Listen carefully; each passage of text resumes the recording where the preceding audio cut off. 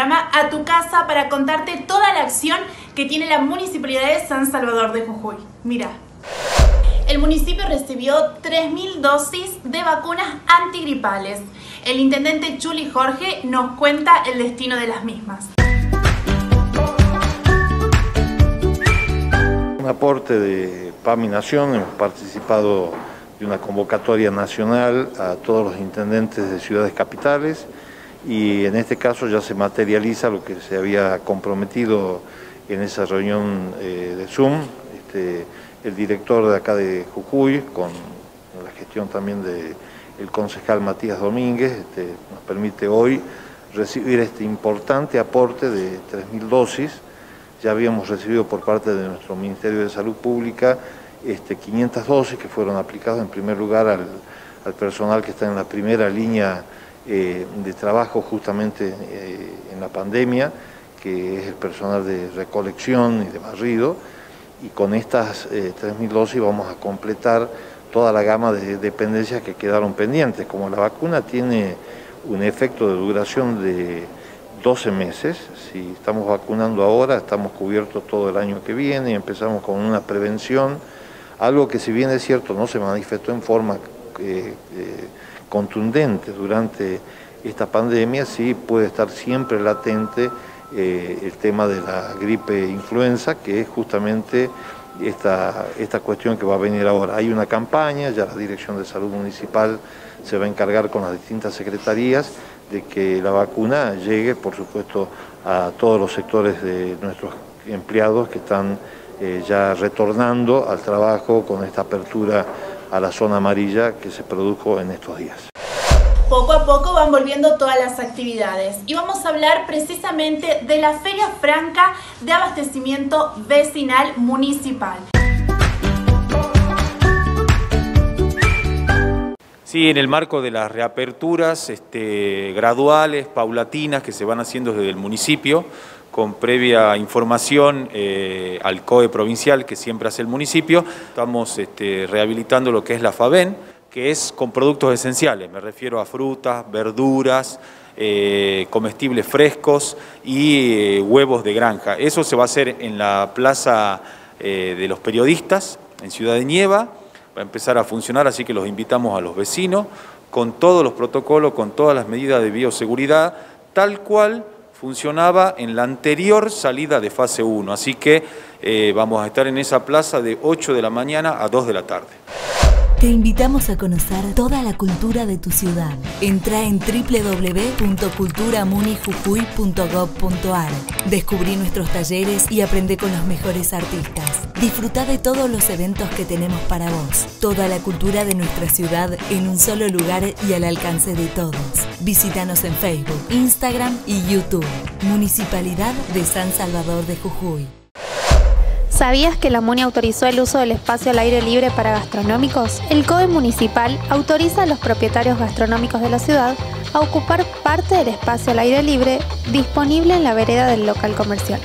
El trámite es gratuito hasta el 31 de diciembre y el permiso especial se otorga bajo estrictos protocolos sanitarios. Los permisos se otorgarán solamente a aquellos comercios que ya cuenten con la habilitación comercial correspondiente y que además cumplan con los requisitos que se solicitarán para ocupar el espacio al aire libre. ¿Cómo realizo la gestión? En el COE municipal, ubicado en planta baja de la central de monitoreo en Avenida 19 de Abril 1185, de 8 a 13, presenta los siguientes requisitos. Una nota formal con el pedido, una copia de la habilitación del negocio y un croquis del local en donde muestre la disponibilidad del espacio ocupado. Luego, el personal de espacio público de la MUNI realizará la inspección. Si se cumplen las condiciones, se aprueba el pedido.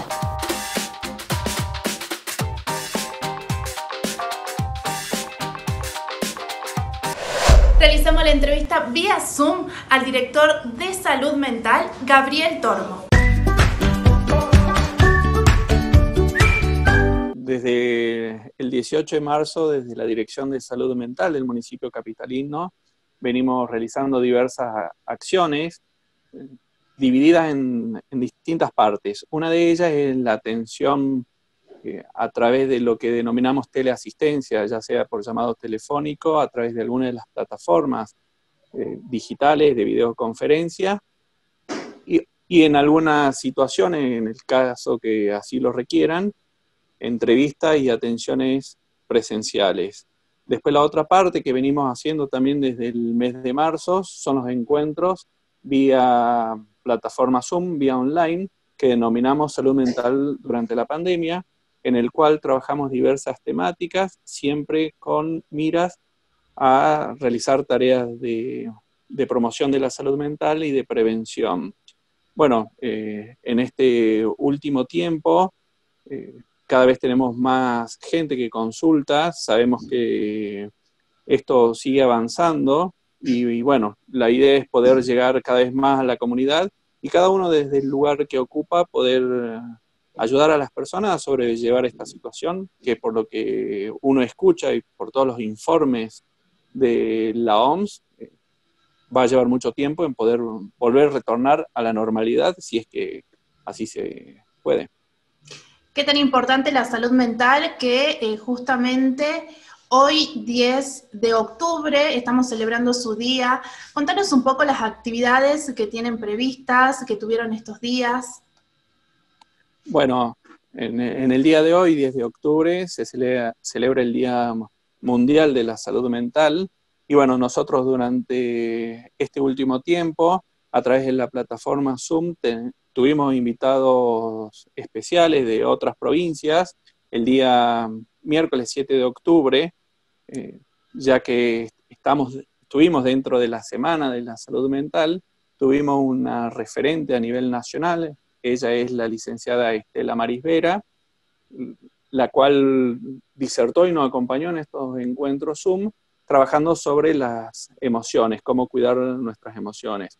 Creemos que en este momento, en esta situación de incertidumbre, eh, fue fundamental este trabajo. Y bueno, eh, como siempre nosotros decimos, eh, está bueno tener una fecha de conmemoración, pero cada uno desde los lugares en los cuales se, encuentre, desde el municipio, desde provincia, desde organizaciones barriales, organizaciones no gubernamentales, trabajar con miras a promocionar la salud mental comunitaria, la salud mental colectiva.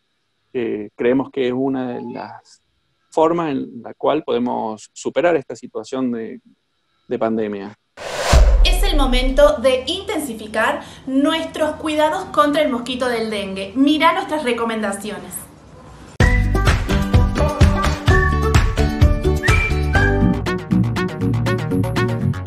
¿Sabías que en su estado adulto el mosquito transmisor del dengue no resiste temperaturas sostenidas de 15 grados? Sin embargo, los huevos suelen resistir estas condiciones de frío y sequía, pudiendo permanecer con vida en latencia por periodos mayores a un año. Por eso, durante estos días en los que quedarnos en casa es lo más importante para seguir cuidándonos, aprovecha y pone en práctica estos consejos para que juntos sigamos combatiendo el dengue. Mantén patios y jardines desmalezados y ordenados. Destapa los desagües de lluvia. Elimina latas, cáscaras, llantas y demás objetos que puedan almacenar agua. Tapa tanques y recipientes que se usan para recolectar agua. Cambia diariamente el agua de los floreros y bebederos de animales.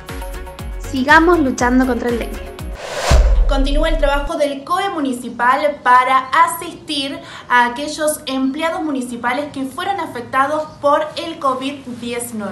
No solo la asistencia, sino también el seguimiento. Mira. Nosotros hemos comenzado nuestro trabajo cuando se produjo el segundo corte, que fue allá por el mes de julio, y comenzamos a trabajar en el seguimiento epidemiológico de todos los agentes municipales.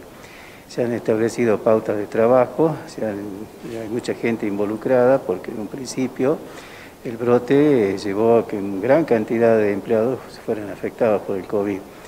Eh, tengo por lo menos la, digamos, la, alegría de decirle que el día de hoy, sobre un total aproximado de 900 casos que hemos registrado, ya tenemos 664 eh, altas contra 217 eh, agentes municipales en seguimiento efectivo, es decir, activo. Desde el municipio se dispuso desde el inicio de la pandemia este, disponer de personal de salud para que eh, haga aporte y soporte a la tarea del 0800.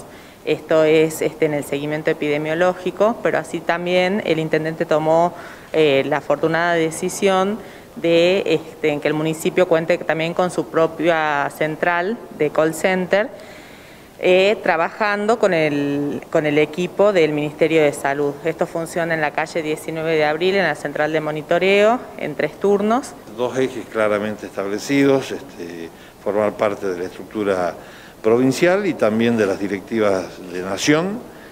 Estamos también con un programa propio que tiene que ver con el empleado municipal, con todos los funcionarios. Hemos tenido más de 900 casos. Estamos también contentos con esto que está pasando en la provincia, se repite acá en el municipio, hay más de 600 recuperados. Este, y estamos, por supuesto, con toda la actitud ya de volver este, a la nueva normalidad, lo cual significa trabajar de vuelta, dando servicios con determinados protocolos. Tenemos áreas cerradas en las cuales vamos a tratar de alternar a las personas para que nadie corra riesgos y que poder dar la atención al, al usuario, a nuestros vecinos. Y por otro lado, vamos a tratar de generar en las áreas abiertas donde se puede trabajar con los servicios públicos, con las obras, etcétera, ya con el personal también con todos los protocolos adecuados. Nos vamos adaptando a la nueva normalidad. Es por eso que te vamos a dar algunas recomendaciones por si tenés que visitar el centro de nuestra ciudad, ya que finalizó el plan piloto denominado La Gran Manzana. Hoy la responsabilidad de cuidarnos y mantener el distanciamiento físico es de todos. Desde el lunes quedó sin efecto el dispositivo Gran Manzana. Por ello se habilitó el tránsito por las arterias que estaban cerradas y ahora es posible el estacionamiento para particulares en lugares establecidos. Solo se mantendrá el ensanchamiento de veredas en calle La Madrid, entre Güemes y Alvear, y en Güemes entre Ramírez de Velasco y Patricia Argentina. Por lo que en estas dos cuadras no se puede estacionar, pero sí se permite el tránsito vehicular. Estas medidas se deben al amisitamiento de los casos de COVID-19 y de las últimas disposiciones del COE provincial y municipal. Ya no habrá vallas ni disposición de circular por la vereda de la derecha. Sin embargo, esperamos que sigas cumpliendo con las medidas básicas de bioseguridad. Debes salir los días que correspondan con la terminación de tu número de DNI. Siempre con tapabocas, manteniendo la distancia física de por lo menos un metro y medio. Si ves un comercio con mucha gente, espera afuera a que sea el momento para entrar. Y si tenés que hacer fila, que sea un metro y medio con la persona de adelante. Y pedí que respeten la distancia correspondiente.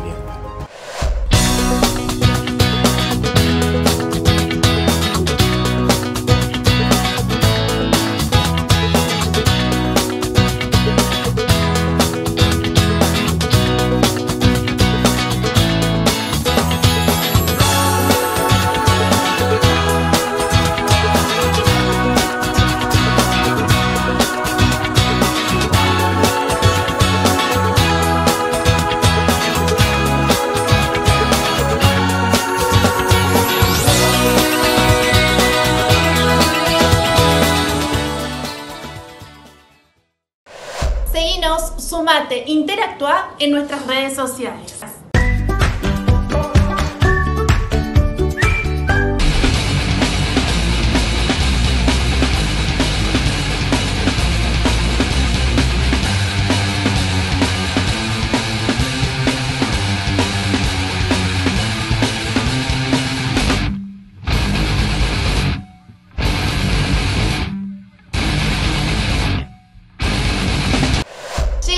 Fin de nuestro programa. Será hasta la próxima.